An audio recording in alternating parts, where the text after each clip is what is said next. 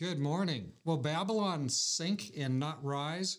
Our reading today is the last reading in chapter 51, and that will be verses 59 through 64. The word which Jeremiah the prophet commanded Seraiah the son of Neriah the son of Maaseiah when he went with Zedekiah the king to Judah to Babylon in the fourth year of his reign, and Seraiah was the quartermaster. So Jeremiah wrote in a book all the evil that would come upon Babylon, all these words that are written against Babylon. And Jeremiah said to Seraiah, When you arrive in Babylon and see it, read all these words.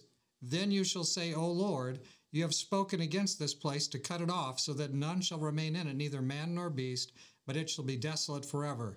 Now it shall be, when you have finished reading this book, that you shall tie a stone to it and throw it out into the Euphrates. Then you shall say, Thus Babylon shall sink and not rise from the catastrophe that I will bring upon her, and they shall be weary. Thus far, the words of Jeremiah. So when Jeremiah completes these prophecies, and we've had a couple of dozen of these looking at the prophecies against Babylon, when Jeremiah completes that, he's instructed to take those prophecies about Babylon, gather it all up into one document, and take it out and have it be thrown into the river Euphrates, which runs right through Babylon. Now we can tell from the text that these prophecies are to be read out loud. Maybe they were read out loud in the very streets of Babylon. So they're read out through and through and then gathered up and thrown into the river. And some people have wondered about this because they said, well, if that was thrown in the river, then how do we still have the book of Jeremiah? But it's very true, and we find it all the way back in chapter 36 in this very book, Jeremiah. There were not only the original copy, but there are multiple copies made of, of these prophecies of Jeremiah. So what, what happened was that one of those copies was taken and duly copied out, taken, read right there at Babylon, and thrown into the river as a final object lesson against against all that Babylon stands for. So there you have Jeremiah's many prophecies that God had him give against Babylon. We've gone through them all, and now it's going to be thrown in the river, another lesson. Babylon will ultimately fall and not rise. The things that it stands for, all those things, will be shown to be ultimately destructive to all human life. And so Babylon will be no more forever. All human endorsement of evil will be withdrawn. There'll be nobody left kind of sitting on the fence. Everybody's chosen good or evil.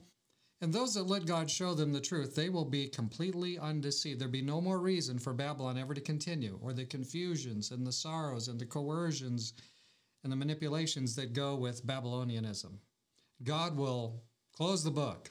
So we've finished now this very extraordinary section in the book of Jeremiah.